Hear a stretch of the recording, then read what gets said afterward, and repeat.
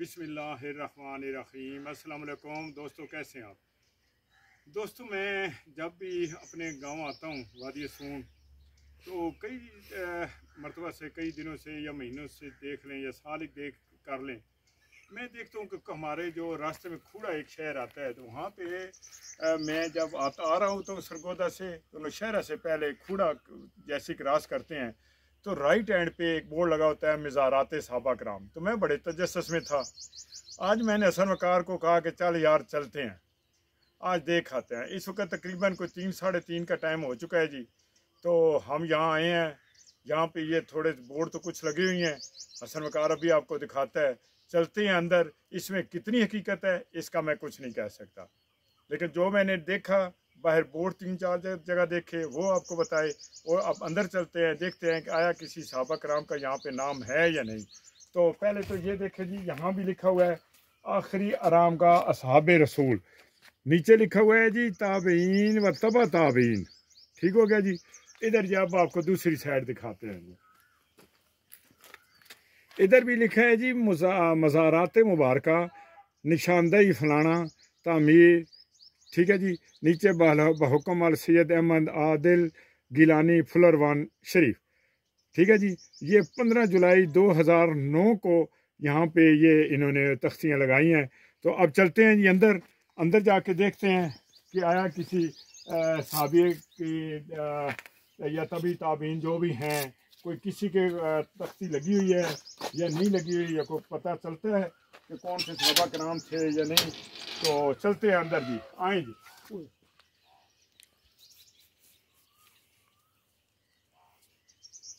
देखिए जी, यहाँ तकरीबन सभी कब्रें जो हैं, एक जैसी महसूस हो रही हैं।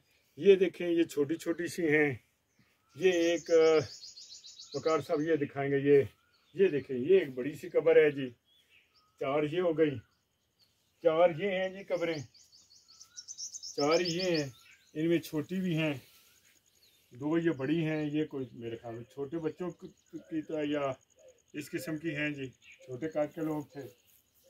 ये आगे हैं जी, ये एक, दो, तीन, चार, पाँच और छः छः कमरे ये हैं जी, ये काफ़ी लंबी कमरे हैं जी।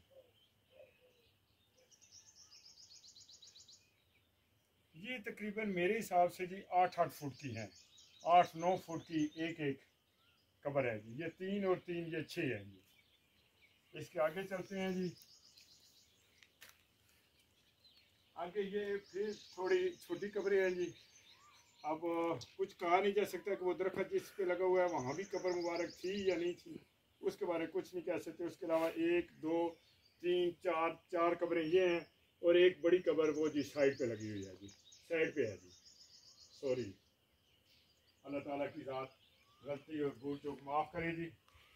इसके बाद जी ये देखें, ये हैं जी एक, दो, तीन, चार, पाँच। पाँच कमरे ये हैं जी। ये भी बड़ी हैं। टोटल यहाँ पे हैं जी एक, दो, तीन, चार, पाँच छः सात, आठ, नौ, दस, ग्यारह, बारह, तेरह, चौदह, पंद्रह, सोलह, सत्रह, अठारह, उन्नीस, बीस, इक्कीस, बाईस, तेईस, चौबीस, पच्चीस। टोटल जी यहाँ पे पच्चीस कबर कमरे हैं जी। लेकिन किसी पे भी कोई निशानदेही नहीं है कि ये किस पैगंबर की है सॉरी किस माजरा जी, अल्लाह ताला की ज़ात गलती गुस्साखी भूल चूक माफ़ करेगी कि किस सादा कराम की है, किस तबी ताबीन की है, किस वली की है, कोई यहाँ पे इस किस्म की नहीं है। यहाँ पे ये देखें जी, ये एक लिखा हुआ है जी, ये बैनर लगा है।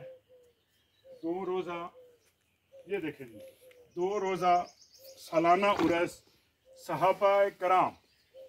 ये देखें जी, हजूर साहबा कराम। जेर सरपरस्ती व जेर साया हजूर किबला, लाला जी सरकार, जेब सजादा आसाना आलिया, उछाली शरीफ वादी सूस, केसर जी। ये देखें, इधर लिखा है, बमुकाम, खूड़ा वादी सूस, केसर, तहसील, नौशहरा, ज़िला खुशाब जी। दोस्तों आप दुआ करते हैं जी।